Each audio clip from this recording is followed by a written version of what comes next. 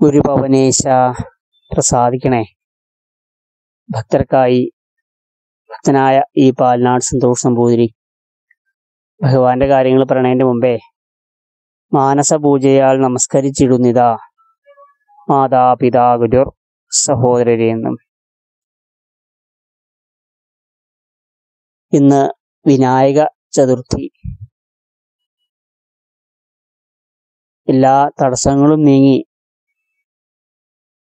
എല്ലാ കാര്യങ്ങളും ഭംഗിയാവാൻ നമുക്ക് ഗണപതി ഭഗവാനോട് പ്രാർത്ഥിക്കാം. നമുക്കറിയാം ഏത് കാര്യത്തിനും അല്ലെങ്കിൽ എന്ത് കാര്യം തുടങ്ങുമ്പോഴും ഗണപതിയുടെ അനുഗ്രഹമാണ് ആദ്യം വേണ്ടത്. വക്രതുണ്ട മഹാകായ സൂര്യകൂടി സമപ്രഭ. നിർവിഘ്നം ഗുരുമേ ദേവ. സർവകാര്യേഷു സർവത എന്നാണല്ലോ. അതുകൊണ്ട് നമുക്ക് ദിവസേന രാവിലെ ഒരു ദിവസം തുടങ്ങുമ്പോൾ അല്ലെങ്കിൽ എന്ത് കാര്യം എന്ത് കാര്യം ചെയ്യാൻ തുടങ്ങുമ്പോഴും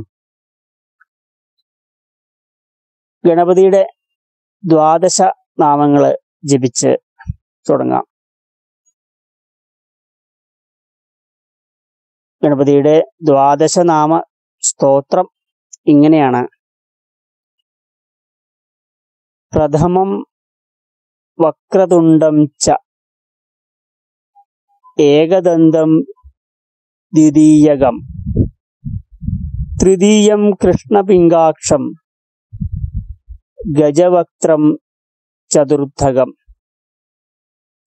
ലംബോദരം പഞ്ചമം ച ഷഷ്ടം വിഘടമേവച. സപ്തമം വിഘ്നരാജേന്ദ്രം. ധൂമ്രവർണം തഥാഷ്ടമം.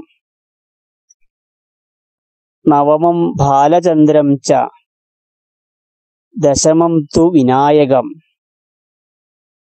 ഏകാദശം ഗണപതിം. ദ്വാദശം തു ഗജാനനം. ഇങ്ങനെ ജപിക്കാൻ ബുദ്ധിമുട്ടുള്ളവര് നാമാവലിയായിട്ട് ജപിച്ചാലും മതി. ഓം വക്രതുണ്ടായ നമ. ഓം ഏകദന്തായ നമ. ഓം കൃഷ്ണ പിങ്കാക്ഷായ നമ. ഓം ഗജവക്ത്രായ നമ. ഓം ലംബോദരായ നമ. ഓം വികടായ നമ. ഓം വിഘ്ന രാജായ നമ. ഓം ധൂമ്രവർണായ നമ. ഓം ബാലചന്ദ്രായ നമ.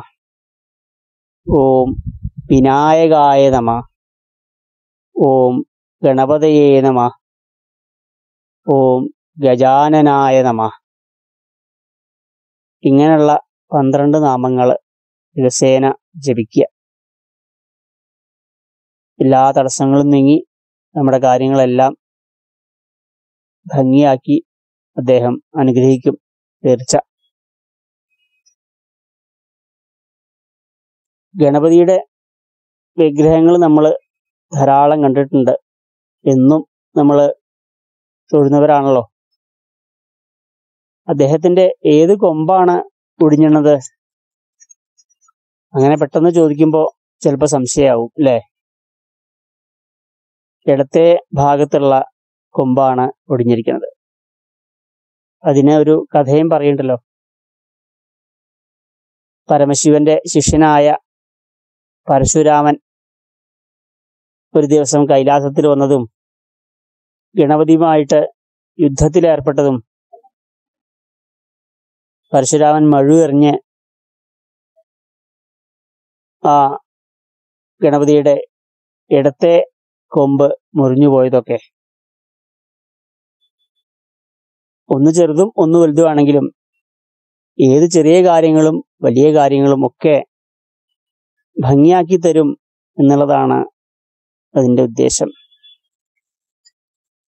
മാത്രമല്ല ഗണപതി എന്ന് പറഞ്ഞാൽ വിഘ്നഹരനാണ്. ഏത് തടസ്സങ്ങളും നീക്കണ ആൾ. അതാണല്ലോ എന്ത് കാര്യത്തിനും അദ്ദേഹത്തിനെ നമ്മൾ ആദ്യം പൂജിക്കുന്നത് പിന്നെ പ്രാണശക്തി വർദ്ധിപ്പിക്കണ ഭഗവാനാണ്. അതായത് മനുഷ്യ ശരീരത്തിലെ വ്യത്യസ്ത കാര്യങ്ങൾ വ്യത്യസ്ത ശക്തികളാണ് സാധിക്കുന്നത്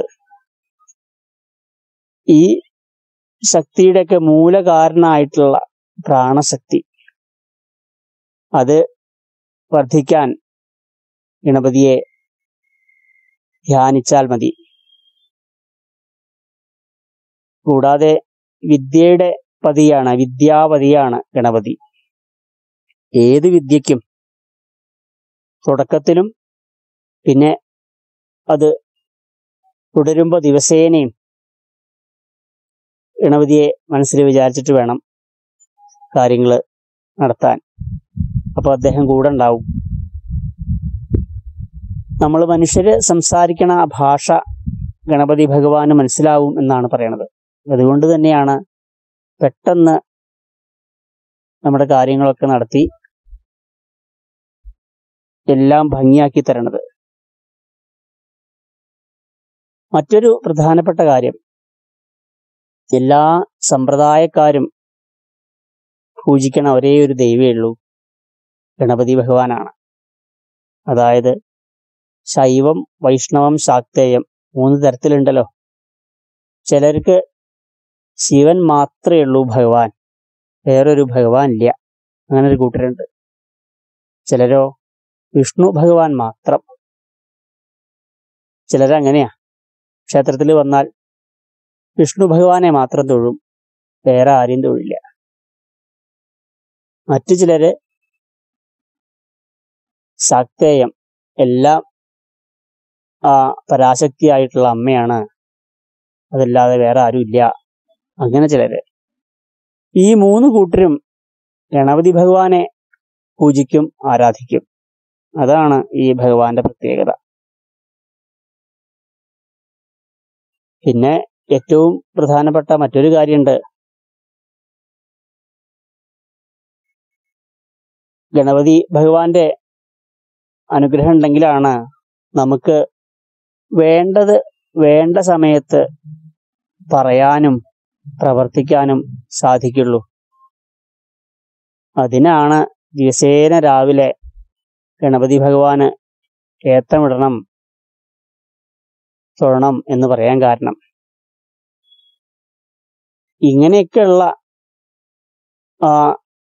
പ്രത്യേകതകളുള്ള ഗണപതി ഭഗവാനെ ദിവസേന നമുക്ക് ദ്വാദശനാമം ജപിച്ച് പൂജിക്കാം അല്ലെങ്കിൽ ആരാധിക്കാം. എല്ലാ തടസ്സങ്ങളും നീങ്ങി നമ്മുടെ ജീവിതത്തിലെ എല്ലാ കാര്യങ്ങളും ഭംഗിയാക്കാൻ അദ്ദേഹത്തിന്റെ അനുഗ്രഹം എപ്പോഴും ഉണ്ടാവട്ടെ. ഗണപതി ഭഗവാനും ശ്രീ ഗുരുവായൂരപ്പനും എല്ലാവരെയും എന്നും അനുഗ്രഹിക്കട്ടെ. നാരായണ അഖില ഗുരോ ഭഗവൻ നമസ്തേ.